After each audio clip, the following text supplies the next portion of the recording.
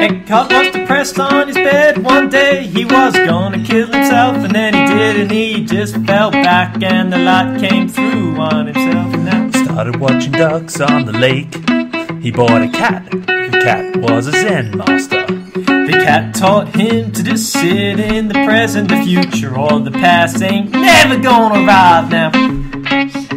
Eckhart Tolle, Eckhart Tolle, I don't know how to say his name. The power of now, just be present in the now. Eckhart, teach me how you live in the now. Be my teacher, Eckhart. Be my teacher, Eckhart. Nobody knows what's good or bad. Just ask a Chinese farmer, he'll tell you to wait and see. The ego is your enemy. The ego ain't gonna do shit for you. It ain't doing shit for you now. Your mind's a little bitch. Don't listen to what it says. Women are more spiritual because they have periods. The menstrual flow.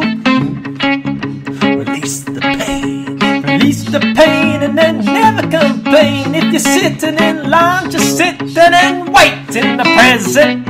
In the present. If someone says to you, I'm sorry for keep you waiting, then say to them, I wasn't waiting, I was just uh, enjoying myself